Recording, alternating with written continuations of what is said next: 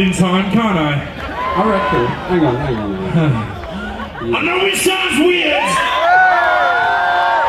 I do want you to look back on this and smile, but I kind of want that smile to be through tears.